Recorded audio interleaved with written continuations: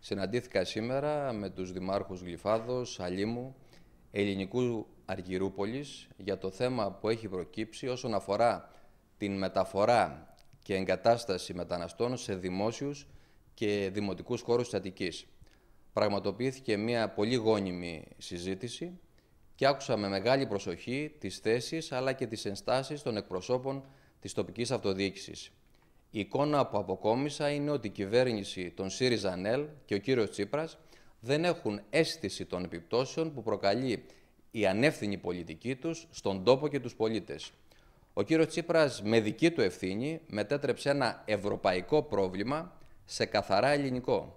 Μην έχοντας κανένα σχέδιο για τη διαχείριση και αντιμετώπιση του προσφυγικού προβλήματος, συνεχίζει τους επικίνδυνους αυτοσχεδιασμούς και μετατρέπει το μεταναστευτικό σε κορυφαίο πρόβλημα της χώρας.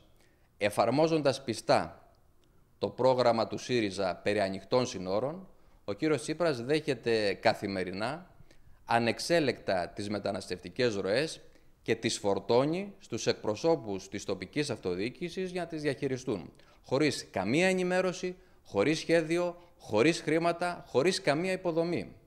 Εκφράζω τη βαθύτατη ανησυχία μου για την εκτροπή της κατάστασης, αλλά και τους κινδύνους που ελοχεύουν σε σχέση με τη δημόσια ασφάλεια και υγιεινή. Θεωρώ ότι η στάση του κυρίου Τσίπρα αλλά και των συνεργατών του, εκτός από ανεύθυνη, είναι και εθνικά επικίνδυνη. Για το λόγο αυτό, κρούω τον κόδωνα του κινδύνου και καλώ τον κύριο Τσίπρα να έρθει άμεσα στη Βουλή και να ενημερώσει τα πολιτικά κόμματα και τον ελληνικό λαό για το πώς σχεδιάζει να αντιμετωπίσει το μεταναστευτικό πρόβλημα.